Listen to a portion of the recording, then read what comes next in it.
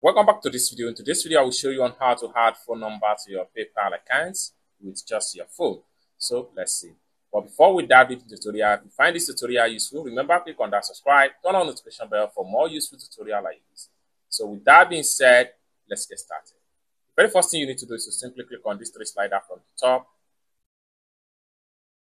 like so. Next thing you need to do is to simply click on this particular setting icon so it's going to take you right here. Next thing you can do is to simply click on add.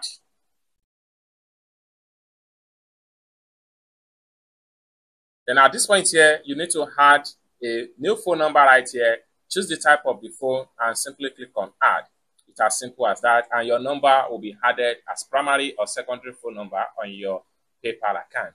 I hope you really got value for this video. If you find this video useful, give this video a big like and also remember to subscribe to the channel for more useful tutorial like this. Thank you so much for watching and I hope to see you in my next video. Bye for now.